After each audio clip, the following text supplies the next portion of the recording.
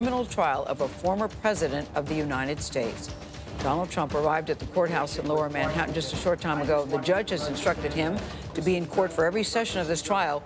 Criminal defendants in New York are required to do that. The presumptive 2024 Republican nominee for president faces 34 felony charges of falsifying business records. Each count could draw a sentence up to four years in prison if he is convicted. This case involves so called hush money paid to adult film star Stormy Daniels before the 2016 election to stop her from revealing an alleged affair with Trump. And this is the first of four distinct criminal cases brought against him. This is the first to go to trial. The former president denies all wrongdoing and calls the trial a witch hunt, a phrase you've heard before. Uh, a couple things to note about today's uh, proceedings.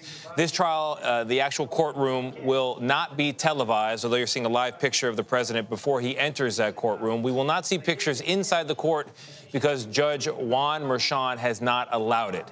Another thing, last week, the court worked to select a 12 person jury, six alternates. The main jury will have seven men and five women. Let's go now, first off uh, the bat to Chief Election and Campaign Correspondent Robert Costa, who is outside the courthouse in Lower Manhattan on this historic and significant day for a whole number of reasons. Bob, what are we expecting? Good morning. This is a significant moment for former President Donald Trump. He doesn't want to be here, but he is sitting in a courtroom in lower Manhattan. Opening statements will begin shortly. The prosecution making its case against the former president, not only that hush money payments were made, but that he allegedly engaged in a criminal scheme ahead of the 2016 election to cover up alleged misconduct, alleged affairs behind the scenes by paying off Stormy Daniels through his longtime fixer, Michael Cohen. And we do expect the prosecution today to call its first witness, former National Enquirer publisher David Pecker. Pecker was allegedly the orchestrator, in part, of coming up with this scheme with Michael Cohen to help Trump sustain himself politically at a critical time in 2016. All right, Bob, thank you very much. CBS News legal analyst Rikki Klieman is here, along with CBS News senior political analyst, that's John Dickerson. Rikki, let's start with you because the charges in this case were brought by New York prosecutors. What can you tell us about the prosecutor in the case? The prosecutor, that is the district attorney, is a gentleman by the name of Alvin Bragg. This is his case. It was his decision to go forward with what we call the hush money case and not to go forward with the case that the Attorney General, Letitia James, went forward with, which was a fraud case brought as a civil case.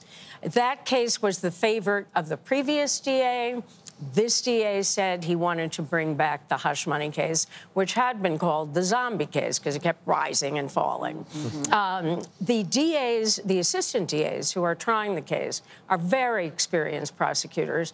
They know this courthouse, they know the rules of evidence and procedure, and it's their home. Mm. This is where they work that is a big advantage to one side over the other. we were saying other. earlier, though, in the court of public opinion, people are like, what is a big deal here? There are so many other bigger fish to fry. But from a legal point of view, this is a big deal, true? Absolutely. It is a serious case. It's a solemn case. First time a former president of the United States has been brought before court as a criminal defendant. We cannot just toss that aside and say this is not serious. It's a felony case, 34 felonies, maximum punishment four years in jail. John, I want to get you in here, but Rikki, um, today the opening statements will be delivered. Um, why are opening statements so important? Because opening statements can persuade jurors to not change their mind later on. 80% of jurors, say the studies, will make up their mind at the end 80%. of the opening statements. Before not, they hear the evidence. Before Rikki. they hear the evidence, because of the advocacy that has told them a story. Doesn't mean they can't change their mind, but it does mean that someone is the teller. It allows you to lean a certain way, you're saying. Correct. In most cases. Correct. In most cases, wow. not all. Wow. John Dickerson's also here with us. Let's talk about the politics. 80% of jurors may yeah. make up their mind on day one. I feel like 100% of the electorate's made up their mind on this. What, you, what are the politics? Right. And, you know, the political scientists say what Rikki just said, which is once you get an idea in your head, it is really hard to, to unwind it? To, to excavate that idea, oh. no matter what you hear. What strikes me is it feels like this case is taking place in a fallout shelter in the middle of a hurricane, which is to say, in the room, and, and what's the hurricane? The hurricane is political season. This isn't extraordinary just because it's a former president. It's, it's the leader of a party running for president. So inside the courtroom, fairness is supposed to rule, uh, truths are supposed to be important, a certain set of traditions and laws are supposed to rule. Outside in the hurricane, that's all up for grabs these days, in part because of the behavior of the defendant in this trial, who has built his campaign around a lie that the last election was stolen. To maintain that lie requires a flood of mistruths. And it also requires disregarding everything the, the, legal system has said about that lie in the last election. So there's a thoroughgoing effort to undermine the system of law going on outside the room. And inside the room, the defendant is protected. And we really hope protected by everybody behaving by the traditions, norms of the way you're supposed to behave in a, in a courtroom, including the prosecutors and the jury. So you have these two things clashing, and that means it's not just about a case about a former president. It's about a challenge of whether the American legal system can be healthy and withstand the hurricane going on outside. But traditions metaphor. and norms, that is a great analogy, as you always have. Traditions and norms don't seem to matter though, when it comes to Donald Trump. We keep hearing this word unprecedented, unprecedented, but this behavior has been unprecedented. Doesn't it it's feel not surreal? Just, but it's not just Donald Trump. Like, I mean, in other words, he claims the election uh, was stolen, but yes. 60 or more courts have said, no, it wasn't. Yes. Lots and lots of investigations have said, no, it wasn't. What it requires is not just uh, a single person's behavior. It requires his entire party to rally around him, not just the voters, but the people who should know better, who are in positions of power in the Republican Party, who say, yes, let's undermine the rule of law in order to support our party nominee. And I should hasten to add, we should all be very much on the lookout for all of the possible political uh, influences on the other side of this case. I mean, let's. What do you mean? Like, well, like, I mean, you've got a DA here who is from a Democratic city and who is uh, in the political system in that city. The jurors are marinated in the politics of New York. That isn't to say that they are influenced, but that we shouldn't be blind to that. Yeah, 87% of Manhattan, which is the jury pool, uh, voted for Joe Biden, not Donald Trump. and, and, and, it was one of the reasons that Donald Trump's lawyers continuously moved for a change of venue, yeah. because the entire group from which the jury is drawn already starts out with a political bias. One of the ironies of this case to go into John's world is to look at the fact that what Judge Merchan is calling this case is a case about election interference in the 2016 election. Now we are going into the 2020 for election. So politics has its own way mm. of seeping into the courtroom, even though the courtroom is supposed to be about the rule of what law. What can you tell us about Judge Merchan? Because he's made some interesting rulings already. He's, he's been very, seem, seemingly very even-handed here. Judge Merchan is known as a very strict judge. That is, that he adheres to the rules of evidence and procedure. He takes no nonsense. In this particular case, I am sure that the defense would say that his rulings have been pro prosecution. Mm -hmm. um, I think that certainly in terms of getting a jury in the box within the first week, that's mighty fast indeed. Did that surprise you? That the, uh, it's stunning to me. Yeah. Um, if you look back at the Boston Marathon bombing case, which affected an entire city, this case in many ways affects an entire country, yeah. let alone an entire borough of a city. That case took not only a week, that case took weeks, if not months, wow. to pick a jury. So you're in a very different situation here. Hmm. Like most presidents, um, when they speak, they speak to their loyalists, their followers, their voters, and also their party. When Trump says, I will testify, is he just speaking to those who are following him? To show that if they put me on the stand, I will speak? Yeah. Or is he speaking out of turn? I'd be curious to see John, if he's going to testify. Well, he said many, many times in many other uh, venues that he would testify, and then he hasn't. I mean, this is, again, where these two worlds collide. Um, as you're suggesting, Nate, it's very important as a political matter for him to say, I've got nothing to hide, I can, I'm going to talk and all of that his lawyers may have a very different uh, rule on that, and also the judge. Look, Rikki's holding on to the table. Uh, yes. uh, and that's uh, we've seen that clash in other cases right. where the lawyers, um, you know, wish their client would would keep his mouth shut. And there's obviously that's another one of the side issues here, which is whether what the president has said has run afoul of this gag order, um, and also what well, I think the judge is going to rule today on the other Trump cases and whether any of that can be brought into this courtroom. Um, so there's uh, what he says and what he has done Right. Um, Rikki, on, on, the morning show, you, you were a hard no on your guess on whether Donald Trump will actually testify. Why? Um, number one is his lawyers are going to caution him about how dangerous it is for him to testify because of cross examination. And then he can blame the lawyers. He could say, I wanted to testify, sure. but right. the hands are tied. Yes. Well, and, and, I'm Hold sure I'm, I'm sure that that's not only what Donald Trump would do, but what almost any criminal defendant in court who has a following would do. I really wanted to, but yeah. my lawyer stopped me. However, it is the client's right and only the client's mm. right to decide whether or not he or she should testify.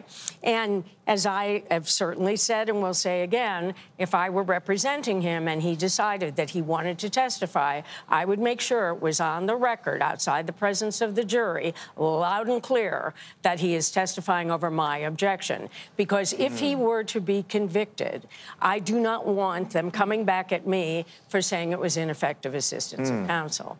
You know, to go back to John's metaphor, which I think is great, the hurricane of politics out here, and there should be a bunker that is the courtroom where the winds and the rains don't touch, right? It's safe. But to hear you talk about what's happened already in the courtroom, has the courtroom been able to seal itself off from the political world, or has it already been tainted in some way? Well, I think the judge has tried to seal it off as much as a judge can.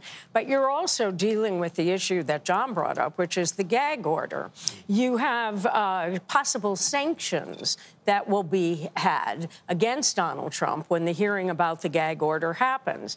The difficulty you have here, which is why the worlds really collide, mm-hmm. is that you have someone running for the office of President of the United States. He's in the middle of a campaign. So the greatest witness against him in this case, the primary witness, is Michael Cohen. Yes. And he has been. Isn't he a flawed, uh, flawed witness? He's a very flawed yeah. witness, which is exactly why Donald Trump says I want to be able to say he's a liar. Mm. I have a right as a campaigner and to my followers, let alone to educate other people, to say this man is lying.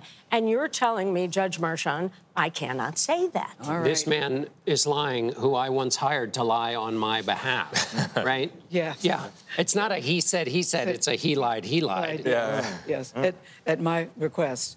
Hold that thought, guys. Jan Crawford, we're going to bring in another voice. Jan Crawford, she's CBS News chief legal correspondent. Jan, good morning to you. Today's opening arguments, you know, are not the only legal item on the Trump world calendar this week. What else has he got going on?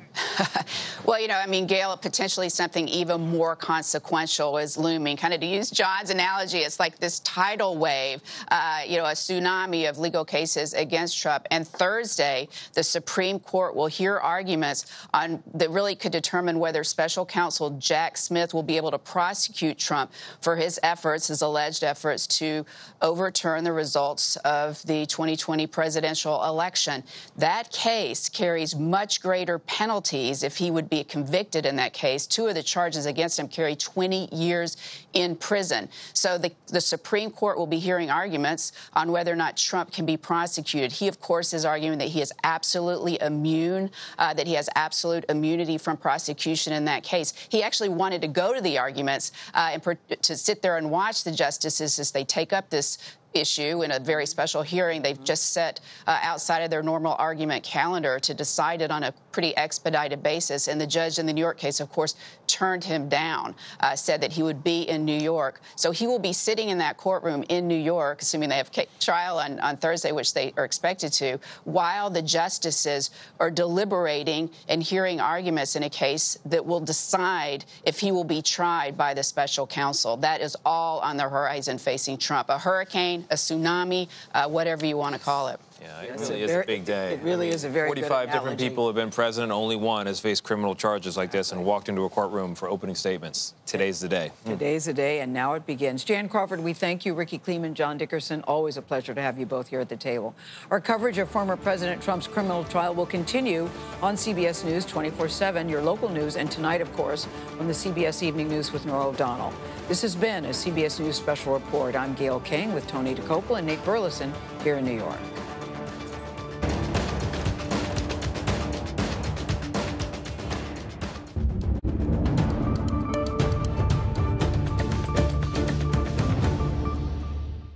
All right, if you're just joining us back here at Studio 57, CBS News, uh, former President Trump has just entered the courtroom for his criminal trial. The historic case marks the very first time a former president has gone on trial ever in U.S. history. Both the prosecution and the defense are presenting their opening statements. We expect them in court today. Let's bring in CBS News national correspondent Errol Barnett, who's following this for us outside of the courthouse. Uh, all right, uh, Errol, Trump just spoke outside the courtroom.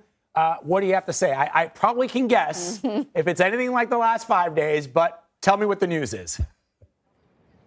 That's right, Vlad and Anne Marie. If there's one thing about former President Donald Trump, he is consistent. I have a couple updates for you. Let's begin with what he said just before he went into the courthouse uh, behind me. He criticized the case. He criticized the fact that this hearing is even taking place. He doesn't like how the jurors have been selected, and he's blaming this case and all the other cases he faces from Florida to Georgia to the nation's capital. And there's another case happening to my left in another courthouse, um, a, a civil fraud hearing. He's blaming all of that on current President Joe Biden, and he says it's part of a, a large conspiracy against him in general. Um, but we want to give you an update now on what's happened inside the courtroom now that things are getting underway. Uh, we understand that Judge Merchan has indicated that rather than breaking at 2 p.m. Eastern, which was the plan today and tomorrow because of Passover, they may actually adjourn slightly early due to an alternate juror who is having a dental issue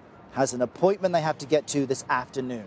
So that's one update. Additionally, on the jury front, uh, one of the jurors also called in at the end of the week on Friday. If you remember, there was that horrific incident where a man set himself on fire outside of the courthouse. He passed away over the weekend. Well, this juror called the court on Friday expressing concern about the extensive media attention here.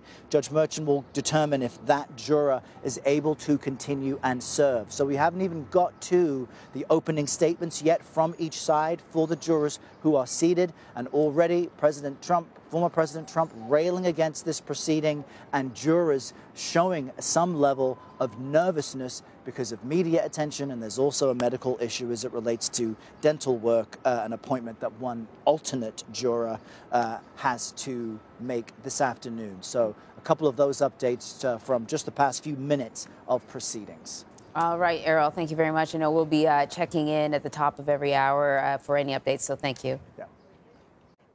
A foreign aid package that includes more than $60 billion for Ukraine now heads to the Senate for approval after the House passed the measure on Saturday. This comes as Ukrainian President Volodymyr Zelensky underscored over the weekend that the aid needs to come in the form of, quote, tangible weapons system. Troops there are preparing for a possible Russian offensive in the coming months. I want to bring in Mary Ilyushina for more on this. She's a reporter for The Washington Post. Uh,